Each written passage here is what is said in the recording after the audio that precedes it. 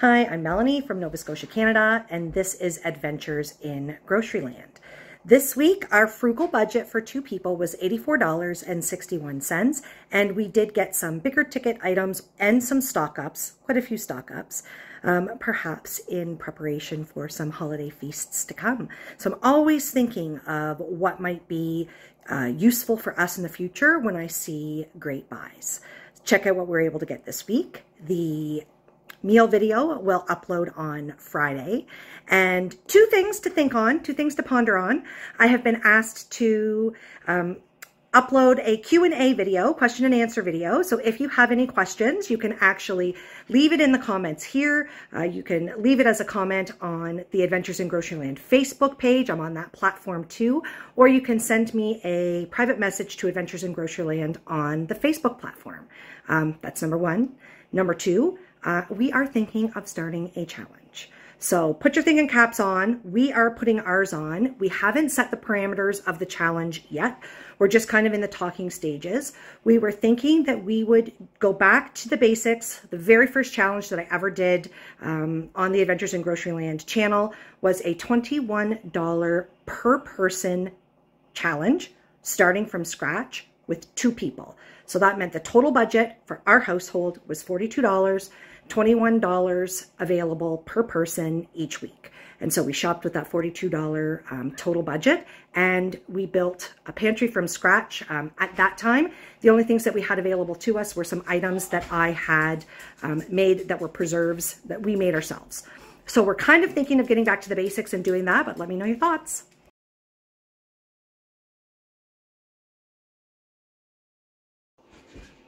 This week, I spent $84.61 on groceries, and the majority of these items are just stock up items. I shopped at Costco, Walmart, Bargain Harold's, Giant Tiger, and Superstore. Let's get started. The first thing that we purchased was an in-store clearance that Giant Tiger had. It is popcorn shrimp, and these were on for $5.97 a bag. So 680 grams. This was a the local store only in-store markdown. They were just clearing out some of their items and we picked up two bags like popcorn shrimp. So we figured that was a really great price uh, to stock up in the freezer. Also got celery that was on for $1.97 and two packages of 900 gram Primo macaroni. These were on for $1.77 each. The grand total at Superstore, or sorry, Giant Tiger, was $17.45.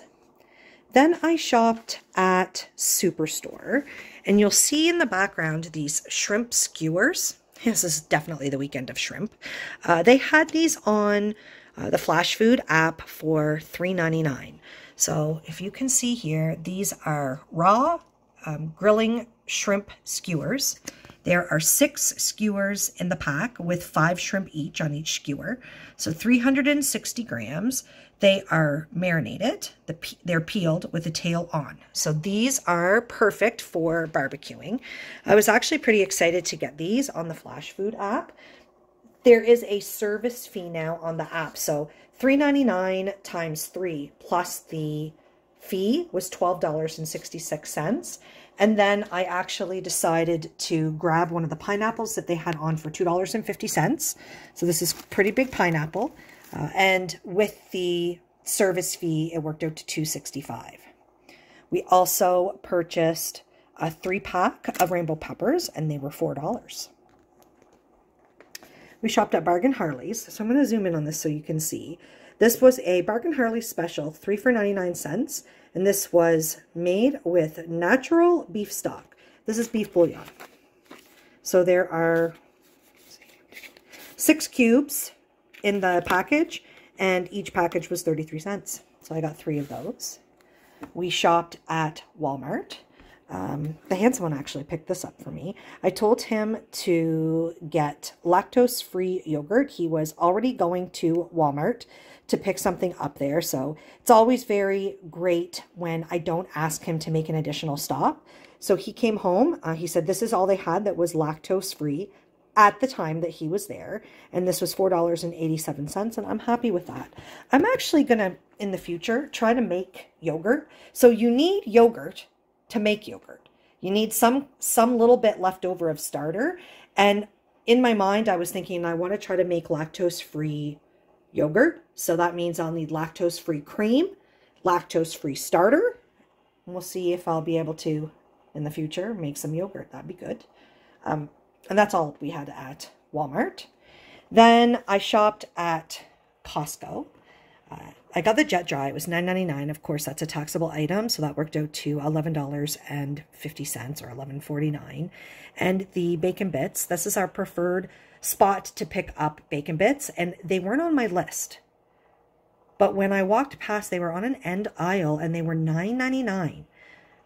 I know for a fact that They've previously been $12.99 or $13.99. So I just picked up a bag. It wasn't on sale. It was just the regular price.